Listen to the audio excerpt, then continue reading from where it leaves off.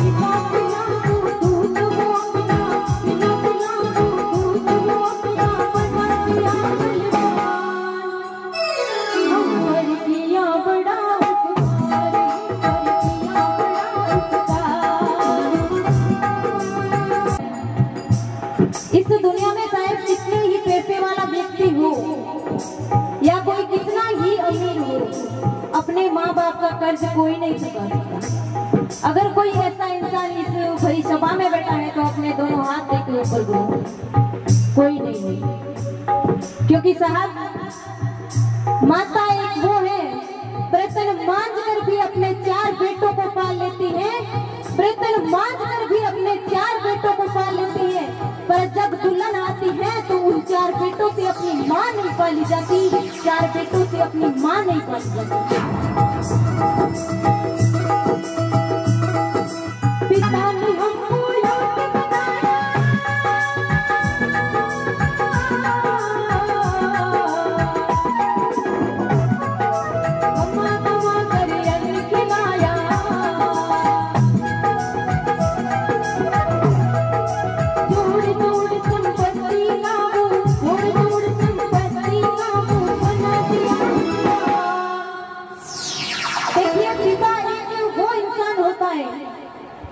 जो अपनी औलाद को अपने से ऊपर देखना चाहता है।